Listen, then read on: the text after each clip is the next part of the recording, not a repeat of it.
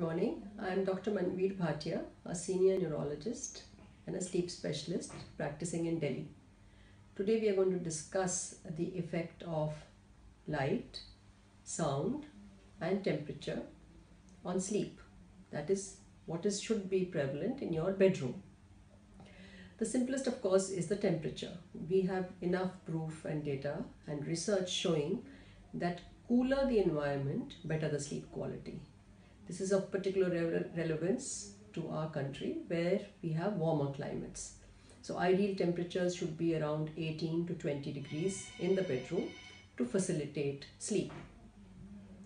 Light, we do know that a reduction in light is helpful to maintain the sleep quality and to prevent arousals or fragmentation of sleep. Natural light is what is the ambient light in a day in the room is approximately around 400 to 500 lux. This can cause a suppression of the sleep hormone which is melatonin. Thus pre-bedtime rituals such as reading should preferably be done in a dim light that is approximately less than about 200 lux to as to facilitate sleep and promote better sleep onset and sleep continuity.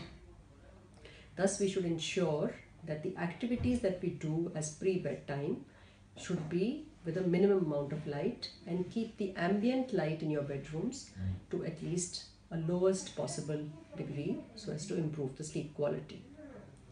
Sound. So we do know that excessive noise is particularly harmful.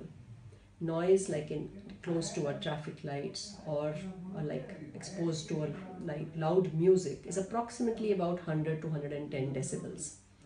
The recommendation by the WHO for the environmental noise to facilitate good sleep is 40 decibels.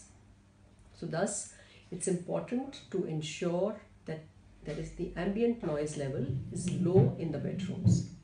Obviously we cannot move the location and if one is unfortunately near heavy traffic zones, make sure that the windows, the doors, etc. are well insulated.